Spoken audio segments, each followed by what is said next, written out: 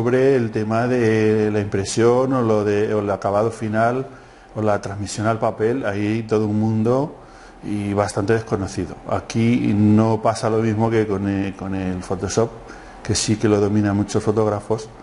Eh, en este último aspecto, pues la verdad es que falta mucho por aprender. Sí, sí, hay un mundo en, la, en la, lo que se llama gestión del color, hay un mundo, o sea, es una profesión. Y sí que lo puede hacer uno en su casa, perfectamente. ¿eh? O sea, no, no digo con esto que, que tengan que ir obligatoriamente a un, a un sitio que sean más profesionales donde, donde, tengan que hacer sus copias. No, se puede hacer en casa. Tengo muchos clientes que hacen sus copias en, pequeñas en casa y acuden acuden a mi laboratorio cuando necesitan una copia más grande. Pero tienen que tener un, un, digamos, un tratamiento de la gestión de color mm, igual de profesional que, que, en un sitio profesional. Es decir, está muy bien hacerlo porque eh, yo creo que es un placer para, para el propio autor que, que, se hace sus copias, sin duda ninguna, y que además puede conseguir un control, puede conseguirlo con mucha insistencia, es decir, puede conseguir una calidad muy buena ¿eh? hoy en día con una impresora media. Eh, ahora, rentable, lo dudo. Cuando se hace bien, dudo que sea muy rentable. El precio de los papeles y de las tintas, pues en una impresora pequeña, eh, cuando has hecho tres copias tienes que cambiar los tinteros y cada tintero vale un dinero. O sea, es decir, estoy completamente seguro que echando cuentas a la larga pues no sale más barato porque tienes que hacer muchas pruebas, porque en fin, tienes que gastar mucho digamos, mucho material antes de, dar por buena la copia definitiva. Pues la verdad es que sí que cada día hay más cotización eh, por la fotografía. Eh, bueno, hay subastas por ahí en Londres y en Estados Unidos que, bueno, yo he llegado a ver unos precios que me he alucinado. ¿eh? Eso es cierto. Lo que, hombre, hay muy buenos materiales ahora, también hay una expectativa de, de, los nuevos materiales que tienen una duración incluso, bueno, en color muy superior a la que había antes y en blanco y negro también, eh, que ya es decir, estamos hablando de 150, 200 años como poco.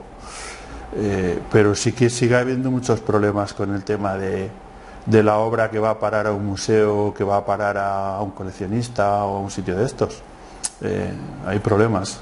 Hay que saber un poco a la hora de producir la imagen y a la hora de, sobre todo, de montar la imagen. Bueno, lo primero, lo primero para conseguir la, la, mayor durabilidad de una copia, lo primero es elegir la tinta, que si es Epson, pues es, las tintas K3 de pigmentos minerales son las que yo he elegido. Lo primero la tinta, lo segundo el soporte, que sería el papel, que hay una gran variedad de soportes, hay papeles RC que duran menos, hay papeles de algodón que ya duran bastante más y luego por último la última gama que hay de papeles son papeles eh, varitados o papeles de algodón con un poquito de brillo, eh, que es como lo último y, y a mí son los que más me gustan en este momento. En cuanto a la permanencia de las copias pues, y las marcas, eh, la verdad es que eh, esta, esta, empresa de Estados Unidos que se llama Wilhelm, Wilhelm Research eh, da unos informes de todos, los, de todos los fabricantes de impresora y con todas las tintas y con todos los diferentes papeles muy interesantes. Y, y ahí sí que yo creo que no, es, que no hay gran diferencia entre Epson, por ejemplo, y HP, que son los líderes. A ver, la copia por sí sola, si la vas a guardar sin montar en ningún sitio, pues hay que guardarla, evidentemente, con una protección de una funda de, de material que sea de conservación y en un mueble o en un sitio que no tenga ningún tipo de ácido. Cuidado con esto porque he visto copias que se han estropeado porque las han guardado en un mueble de madera con un barniz o algo que, que ha hecho una reacción química y se estropean las copias. O sea, el sitio donde se guardan y la funda con que la guardas es importantísimo. Debería de ser en un mueble que esté, digamos, homologado para guardar fotografía. Si lo quieres guardar durante mucho tiempo. Si la quieres mmm, montar o enmarcar, pues ahí tenemos también un montón de problemas. Es decir, esto es como una cadena si tú has conseguido una copia magnífica que va a durar 200 años, eh, tienes que tener mucho cuidado con el montaje porque puedes estropear toda esa durabilidad. los 200 años se convierten en dos, pero rápidamente.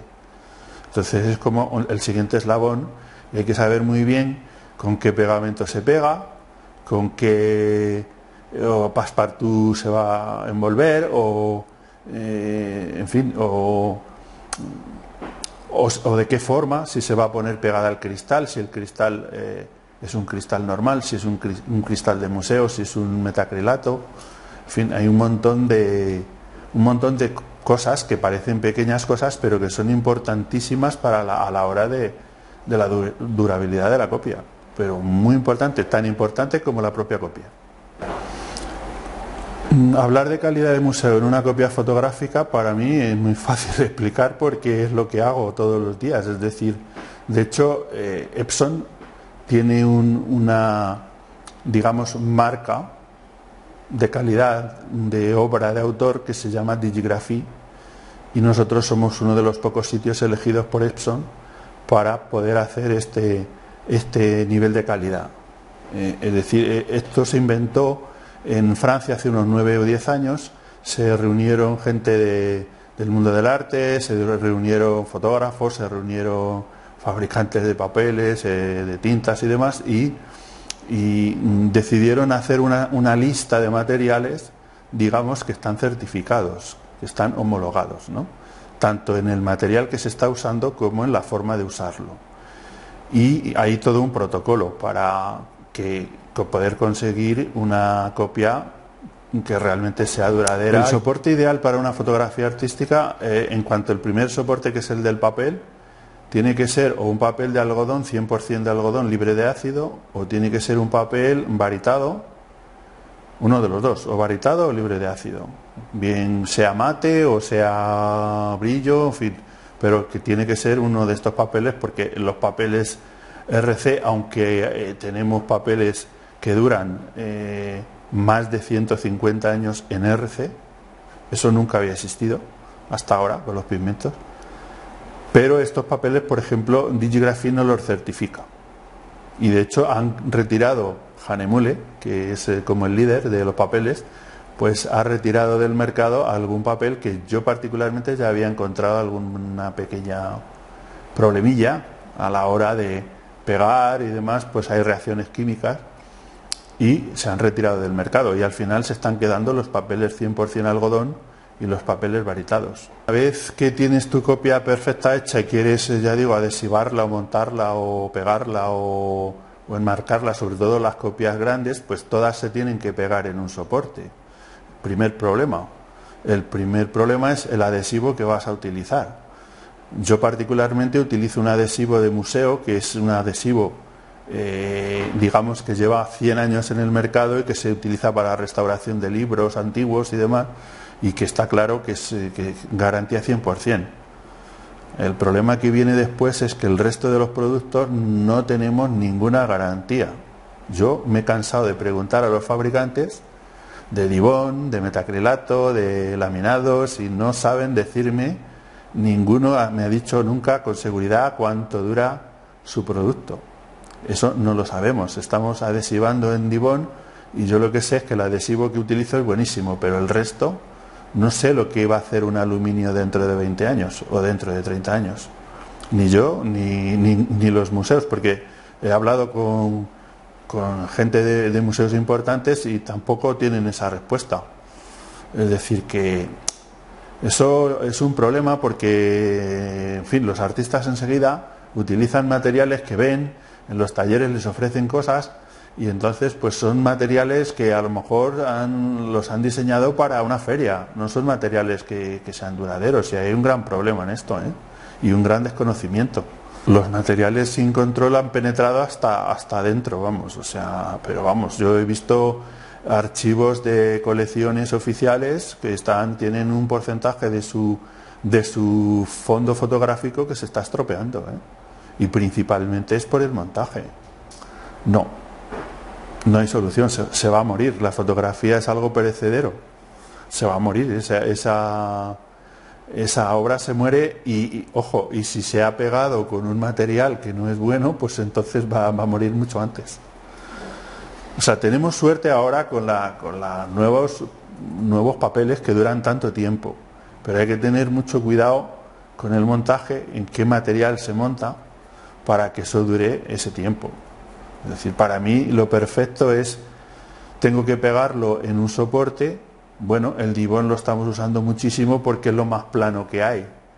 Eh, pero a lo mejor podríamos pegarlo en un cartón de, de, algodón, un cartón de los que usamos para el passepartout. Es el único material que tenemos también seguridad de que dura más de 100 años tranquilamente y más de 150 años. ¿Por qué? Pues porque eso ya lo hemos visto. Lo hemos visto en fotografías antiguas que han durado 150 años pegadas en un cartón y no se han estropeado. Pues sí, el sentido del curso que yo voy a impartir, que eh, primero sobre los soportes fotográficos que hablábamos de los de los papeles diferentes de diferentes clases que hay ahora, eh, ahora mismo en la actualidad. Eh, y después voy a, vamos a hablar de, de los lo que hemos dicho antes también, de los pegamentos, de los adhesivos, de los laminados, de los materiales del soporte como Divón, Forest, Foam, cartón. Eh, vamos a hablar después también del enmarcado, que es importante. Y, vamos a hablar, también de cómo se puede conservar luego esa obra, de qué manera lo, hay, que hacerlo bien para que dure y, de qué forma no debemos hacerlo y, y que se nos estropea, ¿no? Toda la diferencia que hay en, el uso de todos esos materiales que tenemos ahora mismo en los talleres. La verdad es que el curso va dirigido a personas que quieran informarse bien de esos materiales que tenemos en la actualidad, de cómo funcionan, de cuánto dura cada uno, de cómo hay que usarlo correctamente. Eh, esas personas, ¿quién pueden ser? Pues pueden ser autores, eh, primero es el autor, el fotógrafo en este caso, es el primer interesado, creo yo, en que su obra se produzca en un material noble. Después, pues vienen eh, pues las galerías, supongo, que son los que venden un producto, también deben de saber, de saber qué producto están vendiendo. Y luego, por último, pues eh, eh, los, los, que, los, receptores de esa obra, que pueden ser museos, galerías, fundaciones, hay un montón de, empresas trabajando en, digamos, la gestión cultural de, organizar exposiciones, que encargan, eh, encargan enmarcaciones de obra y toda esta, esta gente debe de saber muy bien qué materiales son los que hay, cómo funciona cada uno para, a la hora de hacer un encargo.